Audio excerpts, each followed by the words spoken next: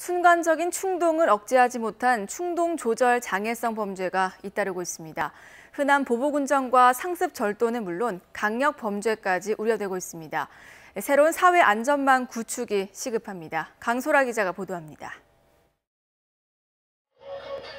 한 30대 여성이 옷을 골라 종이 가방에 슬쩍 넣습니다. 이 여성은 80여 차례나 옷과 화장품을 훔쳐 고스란히 집에 보관했습니다. 왜 물건 훔쳤냐고 보니까 다이어트 부작용으로 해서 강박 증세가 생겨서 충동장애, 공황장애 이런 게 말, 그 생겼다고 하더라고요. 또 다른 의류 매장. 한 남성이 옷을 훔쳐 도망치자 종업원이 그 뒤를 쫓습니다. 이 남성은 4년 동안 열흘에 한 번꼴로 무려 1,300여 점을 훔쳐 집에 모셔뒀습니다.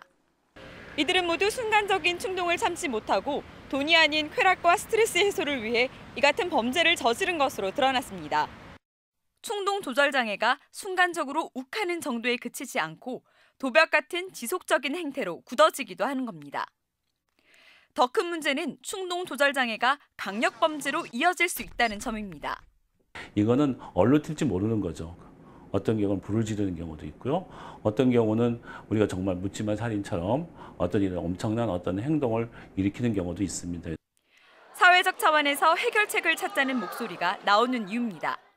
에서도 그렇고 가정에서도 그렇고 이런 어떤 그 자기 조절 능력을 발달시킬 수 있는 기회가 이제 상대적으로 이제 제한되어 있는 심성 교육의 그게 그게 그 훈련이 하나로 스스로의 어떤 그게 조절 능력을 키울 수 있는 이제 그런 프로그램들이 좀 그게 그 개발되어 어, 개인의 문제를 이미 넘어선 충동 조절 장애 범죄들.